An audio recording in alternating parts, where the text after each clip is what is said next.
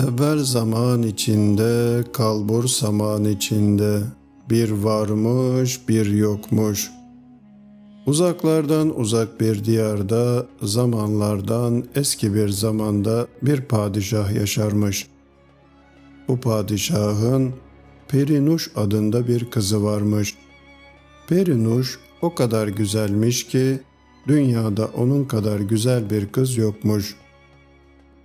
Birçok ülkelerden yığınla padişah, vezir ve tüccar oğulları Perinuş'a elçi gönderirlermiş. Ama Perinuş kimseye yüz vermezmiş.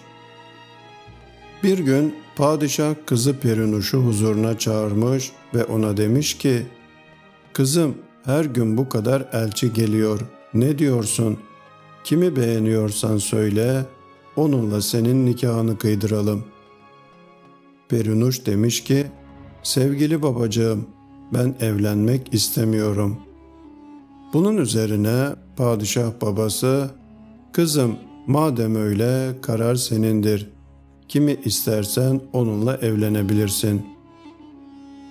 Prenses Perinuş babasının yanından kalkmış, kendi odasına gitmiş. Çok düşünmüş, çok taşınmış ama gönlüne uygun birini bulamamış. Aradan bir süre geçmiş. Perunuş'un canı çok sıkılmış ve babasına bir mektup yazmış. Sevgili babacığım, annem öldüğünden beri sizin bahçenize gezmeye gitmedim. İzin verirseniz bahçeye gideyim. Mektubu babasına göndermiş. Padişah mektubu alıp okumuş ve kızının bahçeye gitmek istediğini görmüş, bahçıvana haber göndermiş. Kızım bahçeye gelecek, bahçeyi düzenle. Bahçede bir tek erkek bile olursa vay haline. Bahçıvan bu haberi alınca hemen işe koyulmuş. Bir gün içinde bahçeyi düzenleyip padişaha haber vermiş ki bahçe hazırdır. Prenses Perinuş 40 hizmetçi kızla birlikte bahçeye gitmiş. Perinuş görmüş ki bahçıvan bahçeyi ışıl ışıl yapmış.''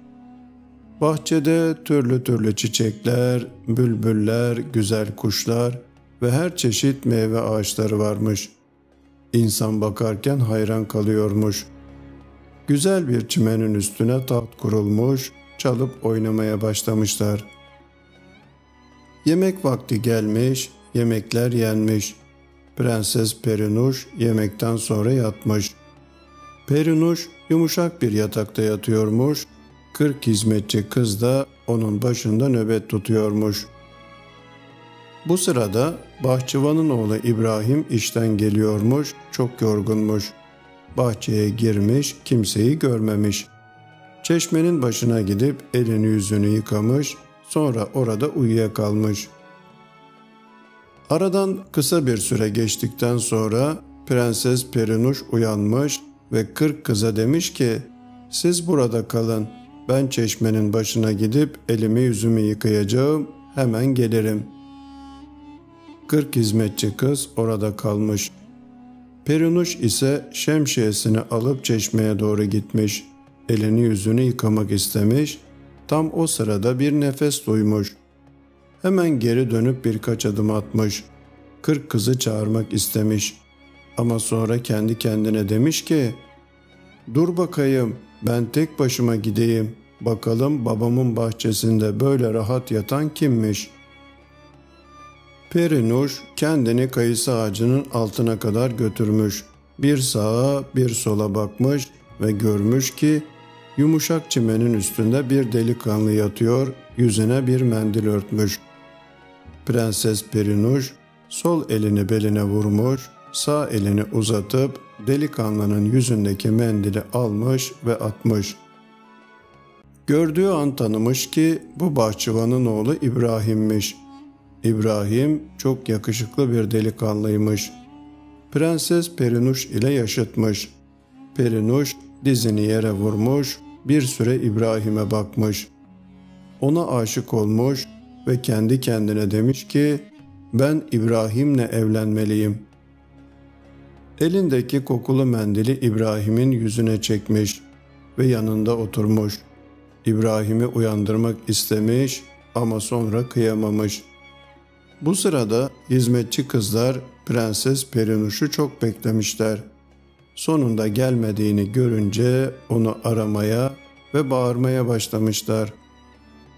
Perinuş kızların sesini duyunca hemen ayağa kalkmış ve kızları çağırmış. Sırrının açığa çıkmasından korkmuş. Kızlar gelmiş. Perinuş demiş ki, ''Ey şaşkınlar, bilmiyor musunuz ki ben bahçedeyim? Bu kimdir? Neden burada yatıyor? Babam bilse hepinizin başını kestirir.'' Bunu duyan kızlar çok korkmuşlar ve yaprak gibi titriyorlarmış. Prenses emretmiş ki İbrahim'i alıp kendi odasının altındaki boş bir odaya koysunlar. Kendisi onu sorgulayacakmış. Kızlar yavaşça İbrahim'i almışlar ve onu uyandırmadan getirmişler. Perinuş'un odasının altındaki boş odaya koymuşlar. Perinuş hemen İbrahim'in yanına gitmiş. İbrahim bir uyanmış ve görmüş ki bahçede yatıyormuş ama şimdi evdeymiş. Hem de padişahın kızı Prenses Perinuş başucunda oturuyormuş. İbrahim çok korkmuş. Perinuş'u bırakıp kaçmak istemiş. Ama prenses İbrahim'in önünü kesmiş ve kaçmasına izin vermemiş. İbrahim kaçma seni ben buraya getirdim demiş. İbrahim bu olanlardan hiçbir şey anlamamış, gitmek istemiş ama Prenses Perinuş yine izin vermemiş. İbrahim demiş ki, hanım ben bir bahçıvan oğluyum, sen ise bir padişah kızı, ben kim, sen kim? Perinuş bakmış ki İbrahim onu sınamak istiyor. Demiş ki, gel beni sınama, göz görmüş, gönül sevmiş. Babam bin kere olmaz dese de ben yine de seninim.'' Bunun üzerine İbrahim de Perinuş'tan vazgeçememiş. İki aşık birbirlerine sarılmışlar. Perinuş bütün geceyi İbrahim'le bu odada geçirmiş. Sabah olunca İbrahim'e bir takım elbise vermiş. İbrahim giyinip kuşanıp Perinuş'un yanına gelmiş. Perinuş İbrahim'i bu kıyafetle görünce boynuna sarılmış ve demiş ki İbrahim artık sabredemiyorum bu işi çabucak halletmemiz lazım.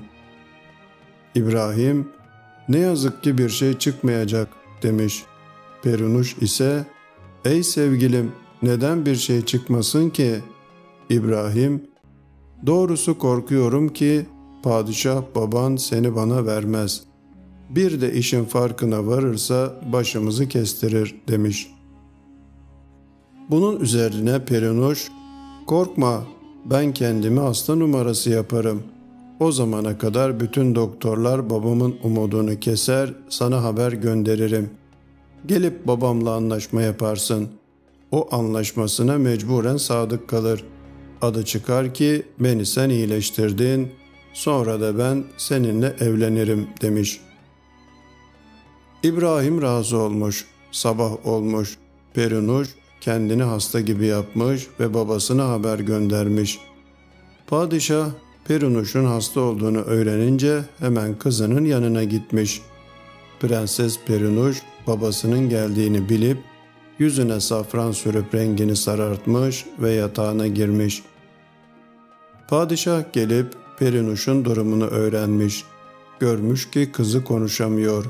Yüzü öyle bir dönmüş ki sanki ölü gibi. Padişah hemen ayağa kalkmış, tahtına gitmiş ve veziri çağırıp demiş ki Vezir şehirde ne kadar doktor varsa çağır. Kızımın hastalığına çare bulsunlar. Kızımın durumu çok kötü. Vezir baş eğip padişahın huzurundan çıkmış. Şehirdeki bütün doktorları çağırmışlar ama hiçbiri Prenses Perinuş'u iyileştirememiş.'' Padişaha sürekli haber gitmiş ki kızının durumu gün geçtikçe kötüleşiyor. Padişah sonunda çaresiz kalmış ve demiş ki kim kızım Perinuş'u iyileştirirse kızımı ona vereceğim. Bu haber şehirde duyurulmuş. Ama Haberi duyan her kim olursa demiş ki o kız iyileşmez. Bütün doktorlar uğraştılar ama derdine bir çare bulamadılar. Bizim gitmememiz daha iyi olur. Fakat İbrahim bu haberi alınca hemen padişahın yanına gitmiş. Baş eğip selam vermiş. Padişah İbrahim'e neden geldiğini sormuş. İbrahim demiş ki, kızınız Prenses Perinuş'u iyileştirmeye geldim. Padişah, çok iyi fakat kaç günde iyileştirebilirsin ve hangi şartla? İbrahim, efendim bana iki gün mühlet verin. Eğer kızınızı iyileştirirsem, kızınız benimdir, onunla evlenirim. Ama eğer iyileştiremezsem boynumu vurdurun.''